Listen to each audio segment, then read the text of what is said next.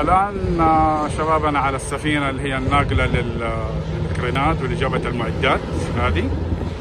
آه، هذه السفينة هي. شايفينها؟ مثبته على سطح السفينة بالقواطع هذه عشان لا تتحرك بالإضافة إلى الوايرات هذه.